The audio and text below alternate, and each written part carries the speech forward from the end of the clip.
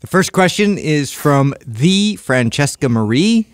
What exercises would you recommend for a client who is looking to strengthen their joints due to the fact that they had previous injuries that were related to sprains and or strains around the ankle and knee area? Hmm. Yeah. Okay. So it's it's hard to give specific recommendations because we don't know why or how your those your knee is you know getting hurt and your ankle is getting hurt. But generally, um, you can do. I mean, honestly, general strengthening exercises are number one. So squats and lunges and your traditional strength training exercises done properly will do a lot to strengthen uh, the the muscles around the knee. And then as far as the ankle is concerned, um, I would work on both ankle mobility, but also calf exercises and exercises that strengthen the tibialis, and balance exercises to work on the muscles that stabilize uh, the ankle. But you know, uh, I'm glad this is that this person is asking this question because that is the right question to ask. Uh, oftentimes, when people have a sprain or repeated sprains or injuries, Mm-hmm. they think do less rather than do more of Let the right stuff. Yeah, Yeah. like oh, okay, my ankle always gets sprained. I'm not gonna I'm not gonna run anymore. I'm not gonna do that activity anymore. Rather than looking at the root cause, which typically is has to do with weakness, has to do with imbalance. Well, this is really close to the, the the episode, the single topic episode we just did recently, where we talked about like knee issues, right? Like mm-hmm. normally that's a, like if you if you're getting like sprains and things going on the knee, that's normally a sign of instability in the ankle and hip. So right away, I would look into like you know like Prime Pro. I would be doing movements for my ankle from Prime Pro. I'd be doing movements for my hip.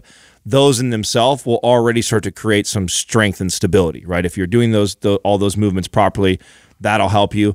I also would recommend this person uh, train barefoot. Like, uh, you know, if you uh, there a lot of times weak ankles also are weak feet. You know, you're you don't have a great connection to the ground, and your feet don't grip the ground. You good chances you could be over pronating and issues there. So barefoot training uh, would be great, and like stability stuff. So uh, I love to take the, a situation like this, take somebody and the way we start our workout after we've done our hip mobility, ankle mobility, the first exercise might be something like a walking lunge. So you dress like what Sal is saying, traditional strength training, and then I'll do it with like stability and barefoot.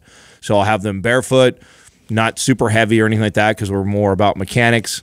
And they'll be walking across the, the grass, and as they're walking, they they do a, a nice big lunge, and then they stabilize, and they're bare and they're barefoot. Remember, and then they stabilize and lunge again, then stabilize and lunge again. yeah, but they got to do it right though, because if their feet are weak and they go barefoot, they'll just pronate Oh or yeah, supinate. you got to really start slow and, and and consider that that triangle base of support. So you have that uh, that pressure that's evenly distributed. So from your big toe to your your pinky toe to uh, the tongue of your shoe, basically you want to be able to be able to apply pressure equally and distribute that throughout your feet and have strength in that. So you know you're not you know, tilting one you know side to too much versus the other but also like strengthening the forefoot so being able to elevate your heel uh you know as you lunge and then have stability in that and also doing toe squats and things like that as well so uh just that way you know you're you're, you're a little bit more comfortable uh with your with your uh, anything you're doing as far as your your lower extremities and you have stability and support with that There's a great exercise to both your points right there, right? So you're right, Sal. if you be careful if you go barefoot that you can overpronate. I mean, that's also why I throw the stability in there, right? So it's not about weight, it's about form.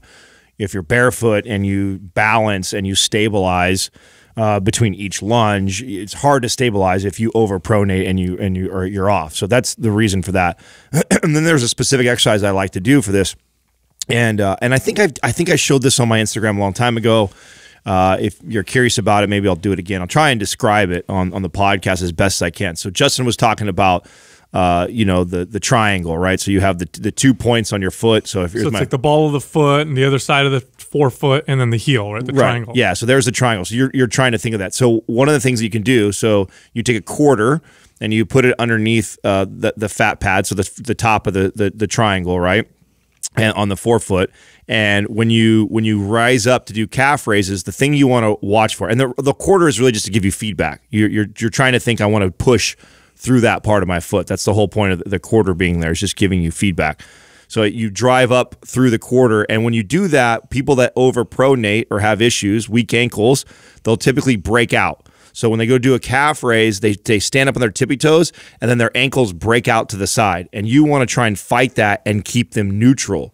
So, and, and, Justin alluded to doing like tippy toe squats. This is the regression before I take someone on tippy toe squats mm. because if you go right up on your tippy toes, you and you overpronate, you have you're compensating. That's not a good. Right, you'll you'll break out. So what you do is you teach somebody to rise up on the heels, keep their heels in a neutral position, don't allow it to break out. Once they understand what they're trying to do there, then the progression to that is the tippy toe squats that Justin. Okay, now I know how to raise up on my tippy toes. I can keep my ankles neutral, not allowing them to break out. They're staying neutral and stable. Okay, now to progress that, I can drop down into a squat while I stay on my tippy toes. Yeah, strength and stability, uh, which is controlled by muscle, is what keeps your joints uh, safe and healthy. I mean, when I was a personal story, right? When I was 14, I dislocated my kneecap on my left leg, and uh, uh part of the rehab uh, uh, was I went to a physical therapist, and she had me do some very basic strengthening exercises. It was like a hip bridge um, and, a, and a couple other movements.